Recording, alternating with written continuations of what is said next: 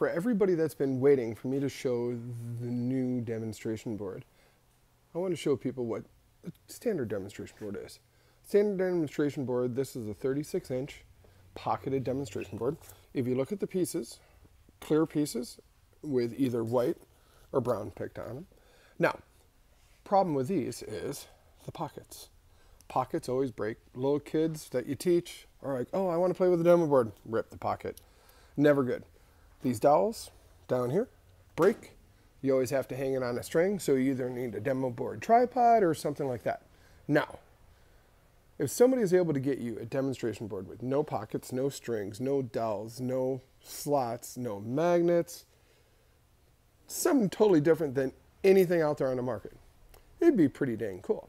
Now, this is my new sample. This is a pre-production sample that we just got in.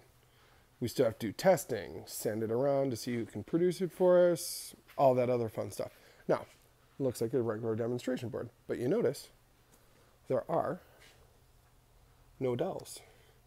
There are no pockets. There's no slots. The pieces are flexible and they stick on the demonstration board. How do we do it? you wish you knew. Cool thing is, this demonstration board sticks to any flat, smooth surface. And even if there's a bump, like this ridge right here, it's not a big deal.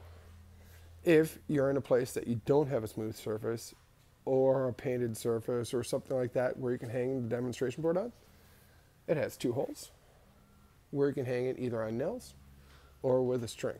Now, when is this going to be available? I have absolutely no idea. This is just a pre-production model. But I promise you guys a video on something brand new. We're able to hang it on the windows. We're able to hang it on metal doors. We're able to hang it on the smooth painted sign. We tried hanging on the brick walls, doesn't work. We tried hanging it on the wood paneling, doesn't work. We did, going back and sticking on the dry erase board, and it did work.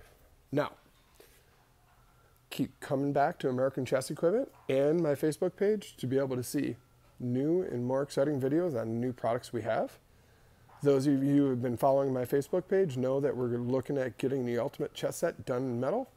We have a bunch of new products that came in or that are on their way in, and we're running a couple specials right now.